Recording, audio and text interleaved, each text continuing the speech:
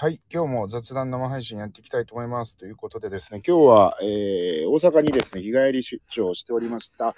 えー、HIU の、えー、ローカルアカデミーという企画でございましてですね、えー、なかなか、あの有意義なイベントでございました。僕以外にもですね、十数人の、えー、面白い講師の方々が、え、講義をしてですね、え、たくさんの人たちに聴衆として、集まっていただいたというような形になっておりますということでですね、えー、今後ね、えー、いろんな都道府県でこういったことをやっていきたいなと思っておりますので、ぜひ、機会があったらですね、皆さんもご参加いただければなというふうに思っております。さて、今日の、えー、お題といいますかですね、えー、今日のですね、えーテーマなんですけれども、これも、えー、雑談のですね、えー、ツイッターコミュニティの方でですね、えー、いただいたお題の方からですね、えー、今日も、えー、行っていきたいと思います。堀江さんはですね、えー、20代、30代の頃からですね、運動とかをして、あの体力をですね、えー、つけてですね、えー、老化をしないように頑張ってると思いますけれども、それでも、えー、年を取ってきてですね、まあ、驚いたりとかするところはないんですかみたいなあご質問があったのでですね、それに対してお話をしていきたいと思います。まあ、やはりですね、あのー、そうですね、その疲れるとか、疲れとか、うんぬんかんぬんというのはですね、まあ、全体的にはそんなには、あの、ないというか、あそういった形ではあるんですけど、やっぱりその、うん、筋とか、あの、筋肉とか筋とかそういったところが、あの回復しにくくなってるのかなっていうところはあるかもしれません。まあ、昔がもっとすごすぎたっていう話もあるのかもしれないですけど、例えば、うん、なんか、ちょっとした擦り傷とかやるじゃないですか。で、以前は擦り傷もほんと唾つけときゃ治るみたいな感じで、本当に、あの、何もせずにですね、絆創膏も貼らずにですね、何もせずになんか、いつの間にか治ってたみたいなところが、まあ、何もしないとなかなか治らなくなるっていう、そういったところはあるかもしれませんですね。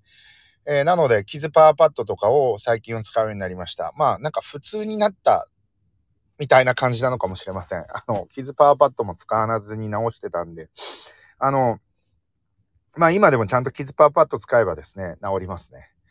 あとは、そうですね、体むしろなんか硬かったのが柔らかくなってると言いますか、あのー、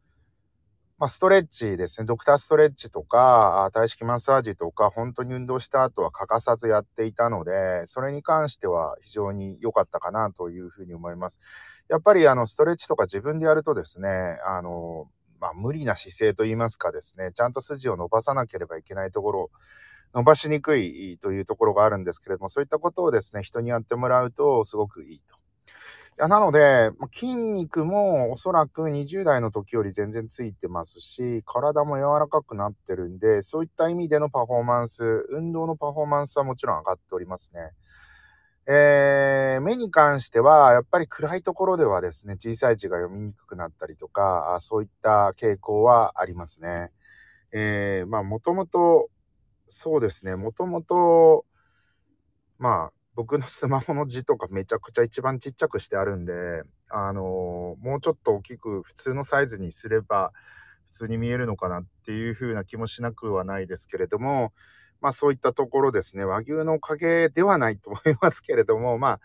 あ、あの、タンパク源ね、有料なタンパク源を取り続けるというのは非常に大事なことですね。あのー、やはりその人間、日本人の健康寿命が伸びた、